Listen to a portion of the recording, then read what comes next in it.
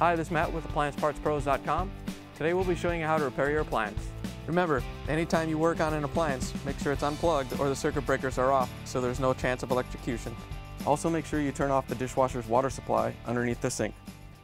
In this video we're going to show you how to change out the Whirlpool dishwasher check valve. It's going to be a very easy repair and should only take a few minutes to show you how to do it.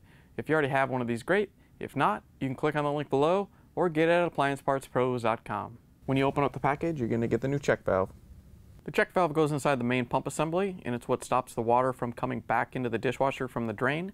The main reason you'd be changing it out is if it's lost or damaged and you're getting water coming back into the dishwasher. In order to get to the part, we're going to open up the dishwasher door and remove both the racks. To pull the lower one out, we're just going to pull it out and set it aside. To get the upper rack out, we're going to pull these rails out a little bit. And then on the back side of these end caps, there's a little release tab The one on the other side comes out the exact same way. Now that we have the end caps off, we can pull the upper rack out and set it aside. Now we can take a Phillips screwdriver and remove the screw that holds this plastic tubing to the back wall. Next we're going to take out the lower spray arm. We're going to grab this big screw and hold onto it. And we're going to turn it clockwise because it has reverse thread. Once the spray arm is released, you can take it out of the dishwasher. Now we can go in and remove the water supply tube. You want to turn it clockwise and then we can reach in with a small flathead screwdriver and lift up on this locking tab as we turn it so this hose will come out. Once you have them disconnected, then you can continue to turn this tube until you can lift it off the pump. Now that we have the water supply tube out of the way, we can reach in and take out these four screws with our Torx 20 driver.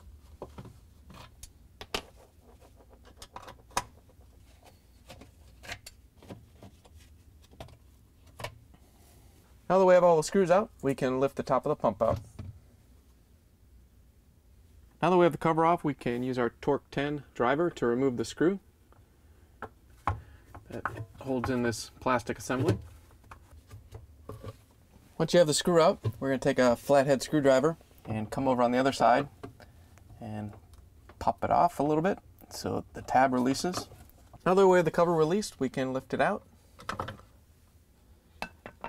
and we can reach down with a needle nose pliers and pull out the check valve.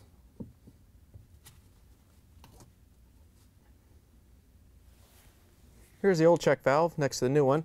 If you already have one of these, great. If not, you can get it at appliancepartspros.com. To put the new check valve in, we're going to grab with the needle nose pliers again. And all we have to do is push it down into its spot. And then we can put the cover back over it because the cover holds it down.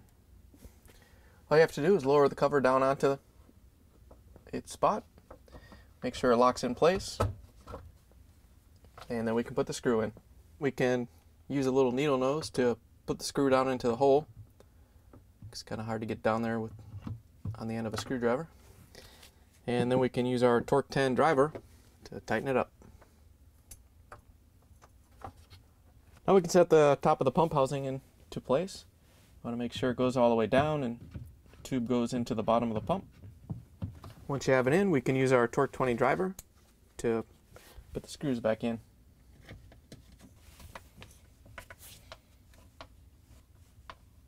Put this water tube back in, you want to line up the three notches so they go down into the pump body like that. And then you have to kind of lift up on it while you get this other side of the tube in there so it goes in properly. You can push them over so they're up at 12 o'clock and make sure that they latch together. Now we can put the spray arm back on. You want to set it down onto the screw part and you want to try to make sure that the start of the thread is right in this little cutout and remember it's reverse thread so we're going to go counterclockwise to tighten it.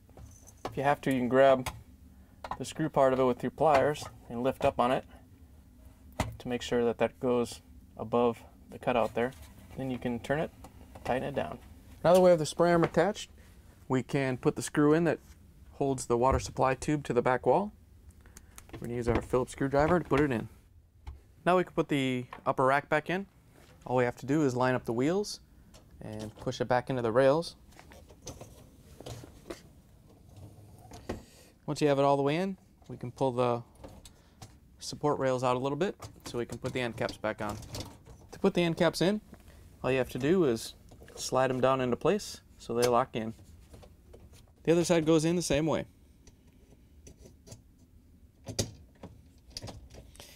Once you have them both in, you can push the upper rack and the rails back in. Now we can put in the lower rack. All we have to do is set it down on the door and its track and push it back into place. Once you have it in there, we can close the dishwasher door. Now that you're done repairing the appliance, you can plug it back in, turn the water back on, and take it for a spin. Thanks for joining us for another successful repair brought to you by AppliancePartsPros.com. Check out our other repair videos on our site, Facebook, and YouTube.